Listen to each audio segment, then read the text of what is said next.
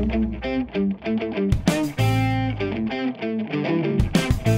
hello and welcome to the show. I'm Joe Adams, and you're listening to Slick Talk with Blackstone Laboratories. Hello and welcome to our listeners. I am your host, Joe. We're recording this episode on Saturday on account of we're busier than ever during our Monday through Friday hours. I just looked, and uh, yesterday we sent out 468 reports, and in one of those reports, we tackled the question what is extended oil use? It's a frequently asked question to be sure, so it made for an easy choice when deciding what topic to cover on today's show. If you're unfamiliar, on the back of each and every gas diesel slip, we ask if you're interested in extended oil use.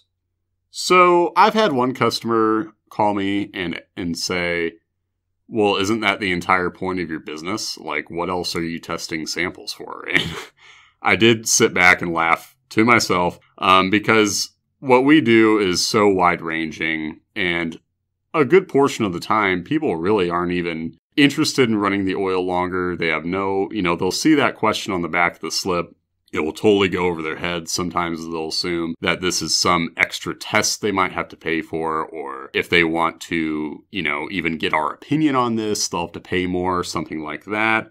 So, just to address it straight on, the question about extended oil use is so we know if you'd like us to recommend whether or not it's okay to run longer on the oil than you already are.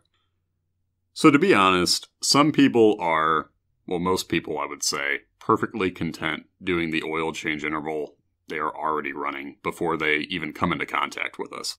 And there's no point in us telling them to run longer if it's not something they're interested in.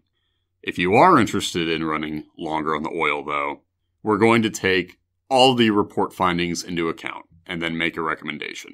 So, for example, on the back of the slip, I checked out yesterday. It was a sample from a Toyota Prius and looked at how the engine was wearing. Everything was perfect there. Metals were in a good range. They were in a good balance compared to averages. We saw nothing out of the ordinary there. So that's one box checked.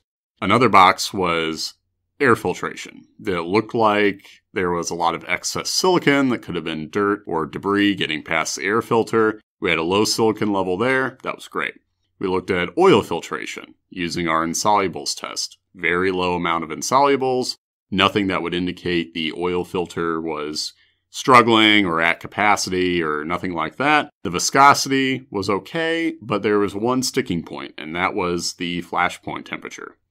A pretty low flash point that indicates fuel dilution, and the fuel level was pretty high. The viscosity was still good, but with fuel being a bit over the cautionary limit, in this particular instance, we went with suggesting a comparable oil change interval to what the customer was already doing, not running longer, just so we could keep an eye on fuel. If it proved to be a situational thing, something from the customer just uh, starting the engine just before draining the oil, for example, then we would give fuel a chance to clear up, see how things look next time around. And if that all checked out, then we'd go ahead and suggest a longer oil run.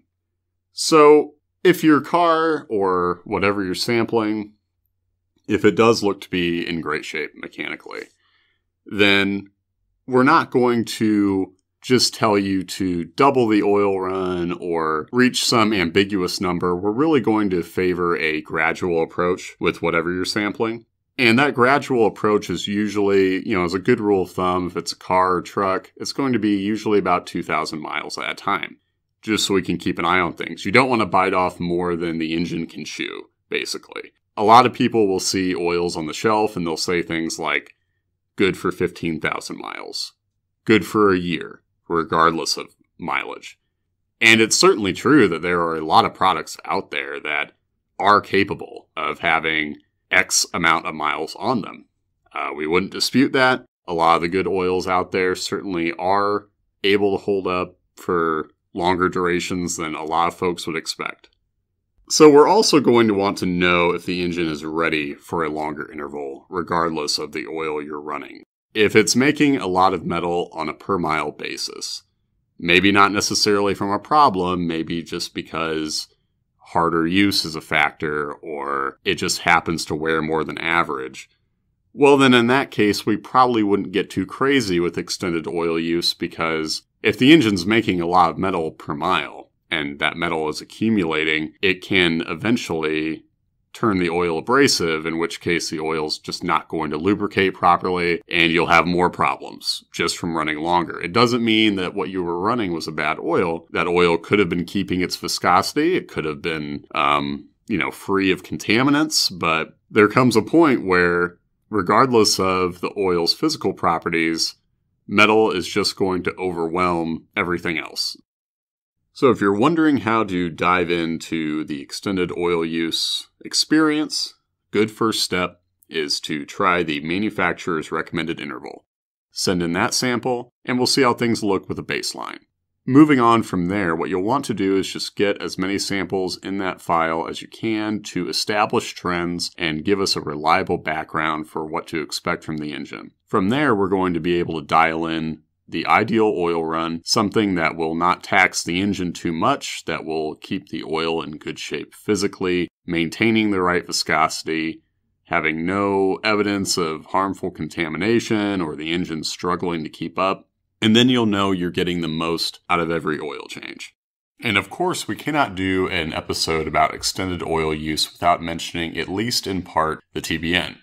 The TBN is the total base number. Now, this is an additional test, goes beyond the standard analysis. On the back of each oil slip, right below the question about extended oil use, we'll ask if you're interested in a TBN.